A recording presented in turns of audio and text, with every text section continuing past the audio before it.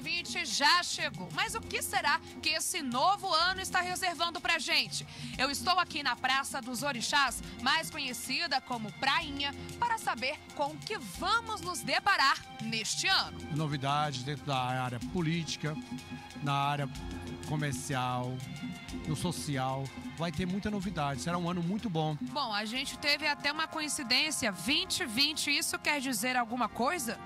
É o número cambalístico, são dois cambalísticos, um ano regido por Xangô e Emanjá, na atração de Oxalá.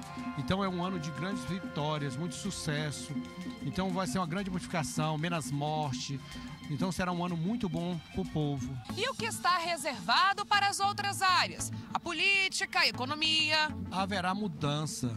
Dentro do governo, uma mudança muito boa, melhor inclusive que vai favorecer o povo essa mudança. Será um ano muito difícil relacionado à economia, porque ainda estamos estabilizando o nosso país. A gente espera que tenha, tenha muita justiça.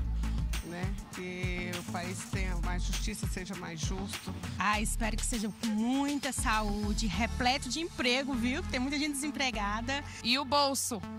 Ah, meu Deus, espero que esteja bem cheio, né?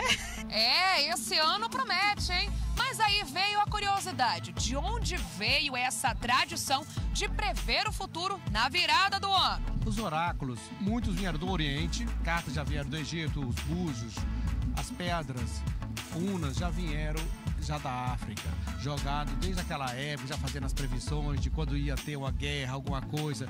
Desde os antigos sacerdotes, todos já praticavam a previsão futuras. Agora, Pai Francisco, como será o meu 2020? Vamos ver lá como é que vai ser. Tem que tirar uma cara. Vambora, tira aí. Sucesso profissional na sua área. Vitórias.